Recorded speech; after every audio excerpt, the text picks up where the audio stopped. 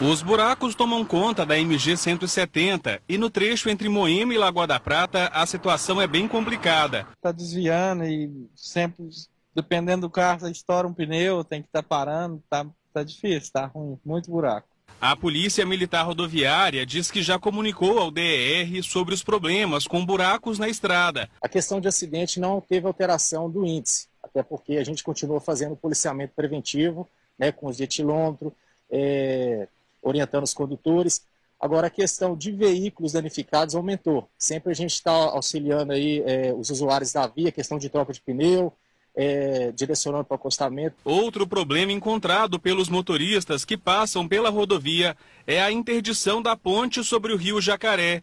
Por aqui circulavam cerca de 800 veículos por dia. A estrutura foi interditada no fim do ano passado. Segundo o DR, um estudo de engenharia está em fase de elaboração, mas não foi divulgado nenhum prazo para o início das obras. Enquanto isso, um desvio improvisado está sendo feito por uma estrada de terra, o que aumenta a viagem entre Moema e Lagoa da Prata em cerca de 10 quilômetros. Como as condições da estrada de terra não são boas, ao invés de pegar o desvio, muita gente prefere fazer baldeação. Os ônibus vêm até um dos lados da ponte e os passageiros atravessam a pé. Constrangedor, né? Criança nesse sol, complicado. Depois da caminhada, os passageiros seguem viagem em outro ônibus. O tráfego de veículos precisou ser interrompido depois do aparecimento de trincas na ponte.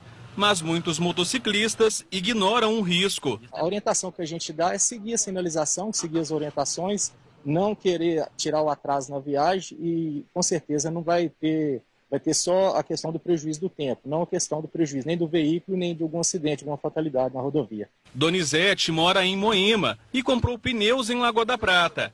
Ele teve que atravessar a pé com a mercadoria e terminar o transporte com outro veículo. Duas, três vezes por semana, está passando aqui para fazer entrega nossa, entendeu? Então a mercadoria nossa, quando mexe com mussarela, essas coisas, não pode ter poeira nem nada, e passa por poeira dessa aqui.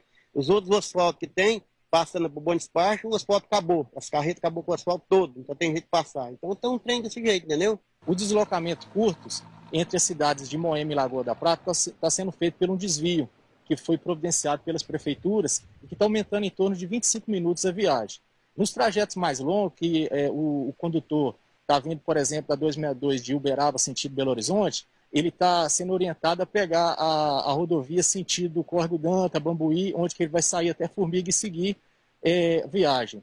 Se o usuário estiver vindo, o condutor estiver vindo sentido Belo Horizonte, Uberaba, passando a 262, então a gente orienta entrar no trevo em frente a Bom Despacho, passar pela MG 164, passando por Santo Antônio do Monte, sai aqui em Lagoa da Prata e segue a viagem, sentido é, Arcos, Formiga. Podia até começar a arrumar essa ponte, até hoje nada, não, não, não começou a arrumar nem nada, entendeu? A burocracia é muito grande, né?